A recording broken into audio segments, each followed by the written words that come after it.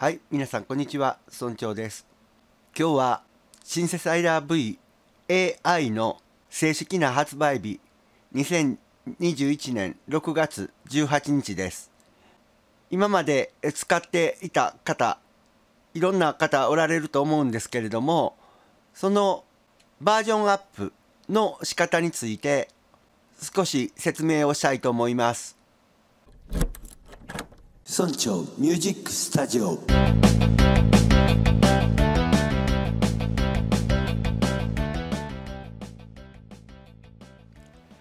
バージョンアップをするのにはこの雲のようなアイコンですね。このアイコンをクリックするとこのようなものが出てきます。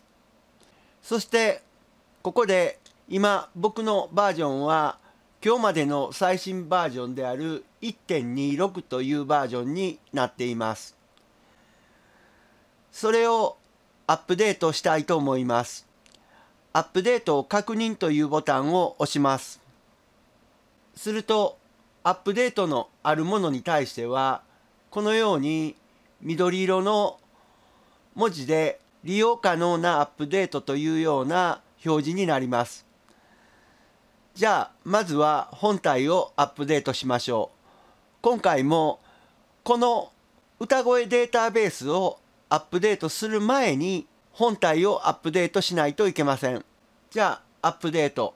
そうしましたらこのようにアップデータのプログラムがダウンロードされます。通常は Windows の場合ドキュメントの中のシンセサイダー V ダウンローズ。というところに入るようになっています。今1.30がありますね。このように昔のはいらないと思われがちですけれども特にバージョンアップしたすぐというのはどんなソフトでも若干バグがあったりする場合がありますのでしばらくは残しておく方がいいと思います。じゃあダブルクリックでバージョンアップします。とってもシンセサイダー V は簡単です。そしてまあ今この画面が出ましたがその前にプログラムを終了しておく方がいいと思います。それで OK を押します。同意しまして次へ。そしてここは基本的には何も触る必要がありません。次へを押します。そしてもう一度ショートカットだけ聞いてきますがもう一度次へを押します。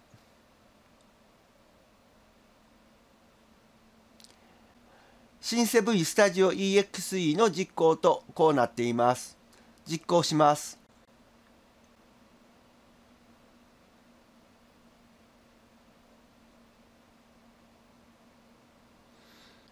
はい。これでプログラムが1.30に変わりました。この状態でもう一度アップデートの確認をします。僕はさっき AI を持っていますのでそのさっき AI のバージョンアップを実行したいと思います。このような画面が出てきます。次を押します。そしてそのまま続けてください。とっても簡単ですね。シンセサイダー V のインストールは本当によくできています。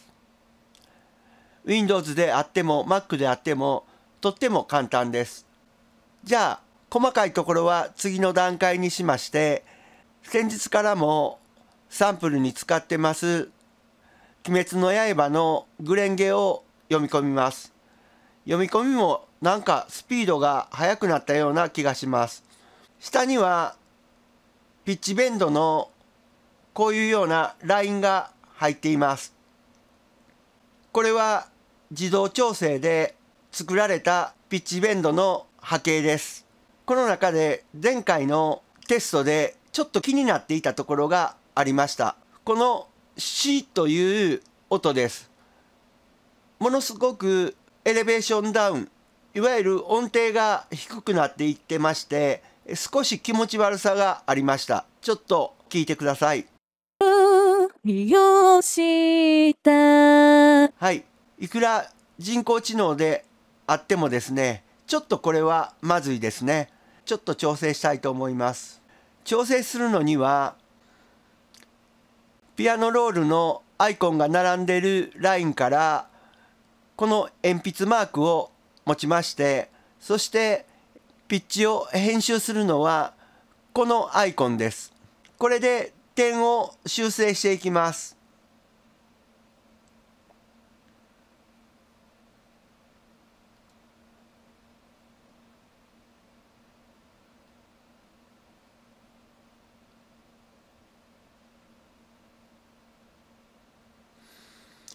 余計なラインはこのように選択してデリートを押すことで消すこともできます。だいたい均一になりましたね。人工知能がやってくれてもこういうところって出てきますのでここは手動で設定していきましょう。もう一度聞いてみます。ああ、気持ちよくなりましたね。はい。せっかく手動で直しましたが、もう一度ここでピッチの自動調整というのをやってみたいと思います。大方自動でできている場合は自分が気になりそうなところだけを選択するのもいいと思います。選択するときは選択ツールに持ち替えて、そしてなおかつこの階段状のアイコンにします。そしてこの気になる部分だけをもう一度自動調整してみたいと思います。あまり大胆にならないようにこの自由度というのを半分ぐらいにしておきます。これではこのようにそんなにおかしなダウンが行われないですね。この C のところを見てください。もう一度やってみます。有料版のプロバージョンにはこの修正を新しい乱数シードで再実行というのがありまして乱数を用いてまた違ったパターンを作ってくれます。やってみます。はい。ちょっと今お尻がこのように伸びましたね。えー聞いてみましょう。利用したはい。また変えてみます。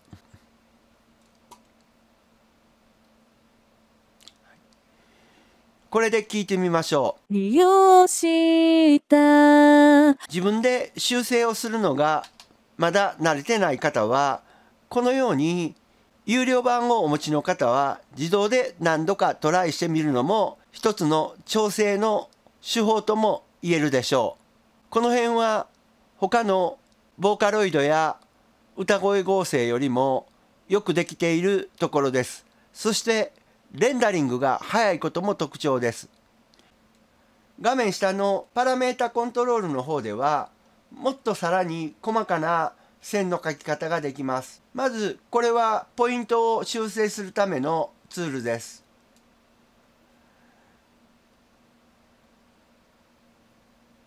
このようにポイントを修正することができます。これでは曲線を書いていくことができます。この曲線の書き方もこのツールを使うとベジカーブが書けます。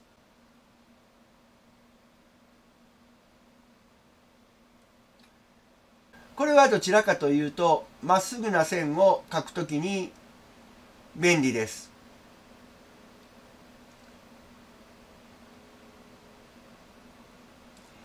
3つのいろんなツールがありますのでそれを上手に使い分けましょう。こちらでは先ほども言いましたようにポイントを修正していきます。一番慣れた書き方を皆さんでやってみましょう。こうやってどうしてもなんかおかしくなったなと思った時はもう一度選択をして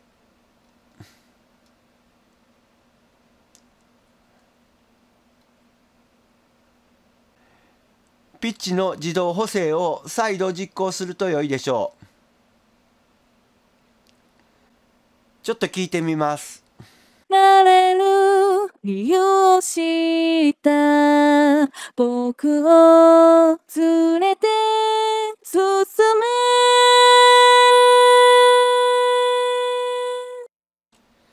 はい。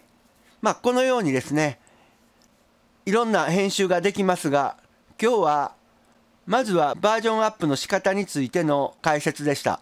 これからいろんな機能の解説を続けていきたいと思っています。